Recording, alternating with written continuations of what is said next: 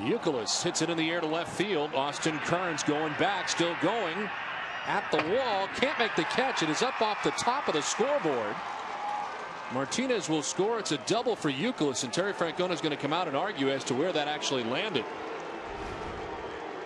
For right now, the game is tied one to one, but where did that land? Now, I couldn't tell from here, looking at it from the booth, I couldn't tell exactly where that landed, but it seemed to bounce and bounce straight up in the air.